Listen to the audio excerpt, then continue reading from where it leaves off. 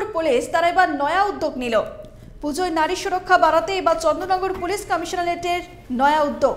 শুরু হতে চলেছে পিঙ্ক মোবাইল ভ্যান এবং গ্রিন উইনার টিম। পুজোর সময় ইপ্রেজিং এবং ছিনতাই দমন করতে সক্রিয় থাকবে নারী নিরাপত্তা বাহিনী। পাশাপাশি বিভিন্ন এলাকায় টহল দেবে পিঙ্ক ভ্যান। যে সকল অঞ্চলে গাড়ি ঢুকতে পারবে না সেখানে ব্যাটারি সাইকেলের সাহায্যে টহল দেবে গ্রিন উইনার্স টিম।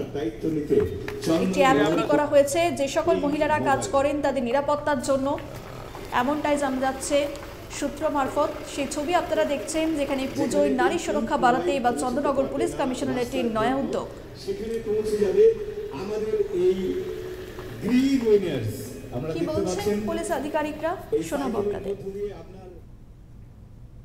কিন্তু মহিলার নিরাপত্তা এটা কিন্তু বড় বিষয় হয়ে দাঁড়িয়ে আছে। আমরা উইনার্স টিম আমাদের করা আছে, এখানে স্কুটি নিয়ে।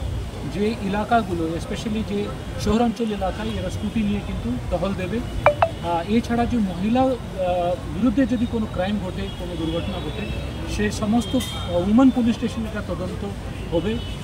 পশ্চিমবঙ্গ সরকার থেকে প্রত্যেক জেলায় কিন্তু উমেন পুলিশ স্টেশন হয়েছে। সিপিসিতে দুটো পুলিশ স্টেশন আছে উমেন পুলিশ স্টেশন একটা শ্রীরামপুরে আছে, একটা চুচুড়োতে আছে। এছাড়া আমরা একটা অপরাজিতা টাস্ক ফোর্স করেছি। যত নিরাপত্তা সম্বন্ধিত যে কাজ করার আছে, যে পরিষেবা দেওয়ার ব্যাপার আছে ফোর্স মাধ্যমে হবে। তার একটা অংশ হচ্ছে এটা পিঙ্ক মোবাইল যেখানে স্কুটি নিয়ে যাওয়ার সম্ভাবনা, যেমন গ্রাম অঞ্চলে পঞ্চায়েত এলাকায় এবং দূরদরা এলাকা যে রিমোট এলাকায় আমরা পিঙ্ক মোবাইলগুলো সে কভার করবে। এছাড়া নারী শক্তি অ্যাপ আমরা শুরু করেছি।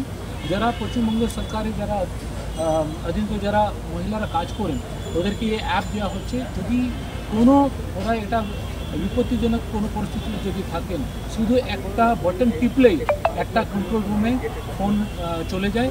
ওরা যদি কিছু বলে বা না বলে, আমরা সঙ্গে সঙ্গে কিন্তু আমাদের থেকে কম রেসপন্স টাইমে আমরা ওখানে পৌঁছে দিতে পারি।